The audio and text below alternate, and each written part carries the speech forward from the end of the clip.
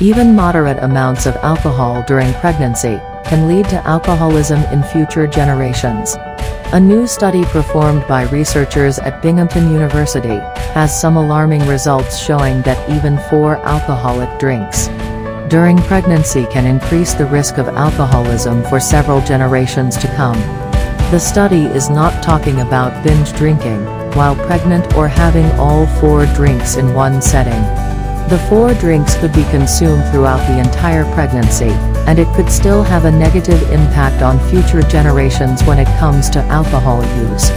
The study used rats and the equivalent of four glasses of wine were given to each rat, during the second trimester of pregnancy. Researchers found that even this small level of alcohol exposure had an impact on the offspring and future generations of their offspring's offspring. Nicole Cameron, the lead author on the study for pregnancy and alcoholism, explained the findings.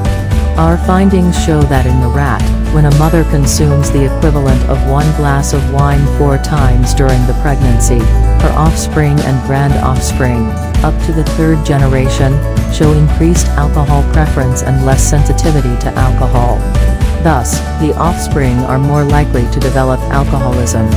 This paper is the first to demonstrate transgenerational effects of alcohol consumption during pregnancy on alcohol-related behavior in offspring. In spite of the risks associated with alcohol use during pregnancy 10% to 15% of pregnant women in the USA use alcohol.